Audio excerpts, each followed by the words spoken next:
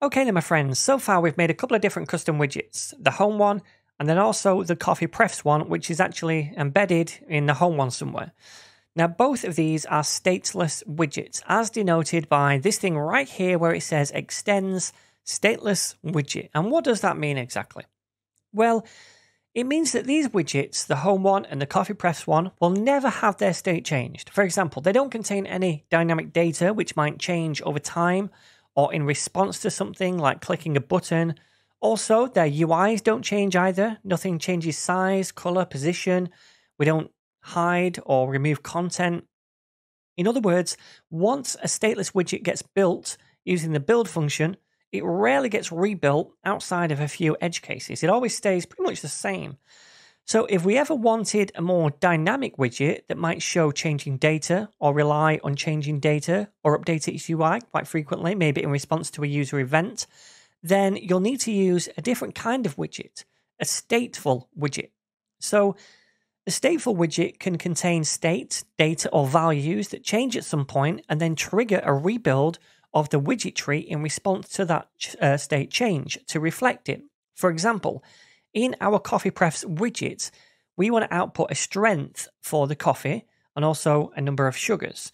And I want those to be output by a sequence of these images, the coffee bean and the sugar cube. So say for example, we set a strength value of three, we output three coffee bean images. If we have, say, two sugars in the coffee and the value of that sugar state was two, we would output two sugar cube images.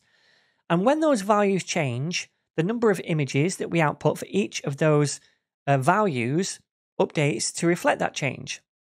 So if I was to click on a button to increase the strength from 3 to 4, then in response to that, we rebuild the tree and output the extra coffee bean image. So there's 4 showing instead of 3. And the same would be true for sugars too. And that's what happens with a stateful widget. We can define values, which are just regular variables within the widget, and then we can update those values and trigger the build function to rerun and rebuild the tree to reflect those value changes. Okay then. So that's what a stateful widget is and why we'd use them. Now let's try turning this stateless widget into a stateful one so we can use some state within it. Now, there's actually a really easy way to convert a stateless widget into a stateful one within VS Code, and that is just to click on the class name for this widget and wait for this light bulb to appear. Now, when you click on this, you're going to get a little context menu with a couple of things we can do with this class. What we want to do is convert it into a stateless widget, so just click on that to do it. And when you do that, you're going to notice a few things that just happened. First of all, this coffee prefs class now inherits from stateful widget and not stateless widget. So now it inherits the ability to have states. Secondly, the class now contains this create state method, which returns a state object with the generic type of coffee prefs passed into the state object.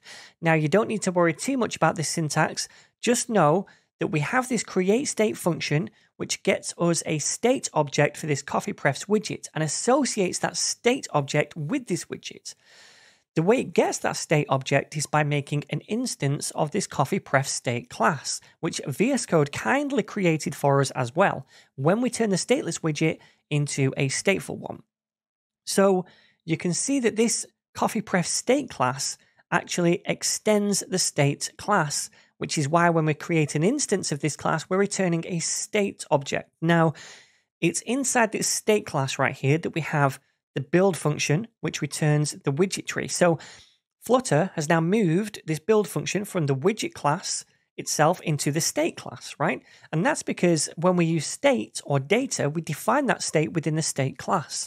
And since the build function most likely relies on that state, we have the build function within the state class as well. Again, a lot of this syntax will become second nature to you when you start building more stateful widgets. But the key points to remember are these. First, we now have two classes one for the widget itself, which extends the stateful widget class, and then one for the state, which extends the state class. Second, we override a create state method up here in the widget class, which returns a state object for this widget by creating an instance of this second state class. And third, it's inside this state class that we now have the build function, and it's in here as well that we'll be creating state values for that build function to use within.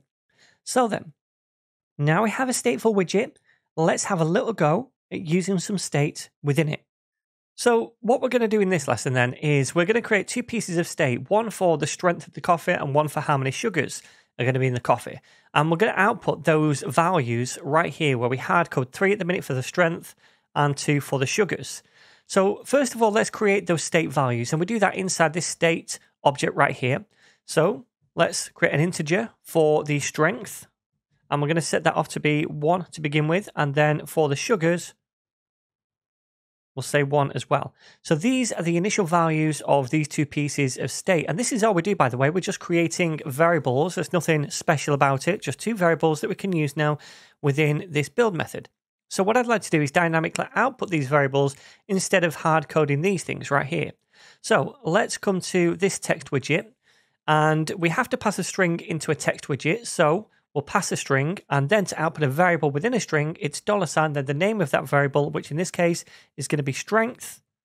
And then if we hover over this, we can see invalid constant value. So that's this thing right here. So now, because this text will change at some point, or Flutter is detecting it might change at some point because it's based on this variable, it's saying, look, we can't make this a constant anymore because it might change. So get rid of that. Let's do the same thing down here for sugars. So instead of two, dollar sign sugars, get rid of the const as well. And there we go. So if I save this now, we're going to see one and one over here. Now, at the minute, it's always going to be one because we never increase or decrease these values. So let's do that now. So we know that when we click on these buttons right here, it invokes this function, increase strength and increase sugars. So these two functions right here. So when we increase the strength, what we want to do is basically increase this number. So let's do that. I'm going to say right here that the new value of strength is equal to, and then we're going to use a ternary operator actually. We could just say strength plus one like this, right? And then it would basically add one to whatever strength is. But if we do this, then it's going to go to one, two, three, four, five, six, seven, eight, nine, ten. There's going to be no upper limit. So we could get to 200 and that would be bizarre. I'm not going to want to show eventually 200 coffee beans on this row. So I want there to be some kind of um, um, upper limit, and that upper limit is going to be five. So we're going to use the ternary operator to say, look, is strength less than five? If it is, then we can still add one to it. If it's not, then we're going to recycle back around and set strength to be one again. So as soon as we get to five, if we press plus again, it's going to go back to one. All right. So we'll say strength less than five, and then a question mark. This is how we create a ternary operator. So we do a little condition first of all, and then we have two values right here after the question mark. The one on the left of a colon, which if this is true, will execute, and then one on the right of the colon, if this is false, it will execute that instead. So let's say strength plus one here, and then a colon, and then we'll just say one. So we're saying strength is equal to Figure this out. If strength is less than 5, then strength is equal to strength plus 1. If strength is not less than 5, meaning it must be 5 at this point, then we're going to reset strength to be 1 instead. Does that make sense? All right, so we're going to do a similar thing for sugars. So let me grab this thing right here and I'm going to paste it down here. So we'll change this and this and this to sugars. And this time I want sugars to be able to have zero as well, because that makes sense. You probably won't have a strength of zero, but you might have zero amount of sugars in your coffee.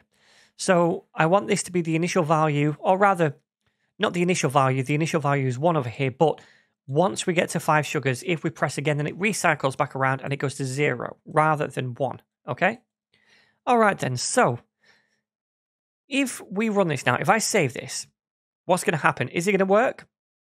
Well, we are changing the number and we're outputting those numbers right here. So you would think it would work, right? So let's try this. No. And no. So they're not working. So what's going on then? Well, we are increasing these values. We are doing that. But that doesn't mean anything. If this value changes, it's not going to automatically re-trigger Flutter to run this build function and therefore update this because this build function needs to run again for this to be updated. So how do we trigger that build function then if it's not just changing the values? Well, we have to put that change with inside a special function called set state. And this is a little bit like React, where we set state or set a value of state in a component. So I'm going to say set state like so, and this takes in a function. And inside this function, we can do whatever change in state we want. So this, for example. Now, if we put that with inside set state, then this set state function does trigger a rebuild right here once this is done. So now if we increase the strength over here, then we can see it goes up all the way to 5, then back down to 1. Awesome.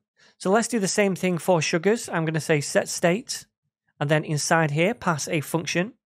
Inside the function, we update the state, and then we can save that and try this out. And yep, now sugars works. And this time it goes to 0 rather than 1 because we said that right here. Awesome. So then, my friends, now we're successfully working with states inside a stateful widget.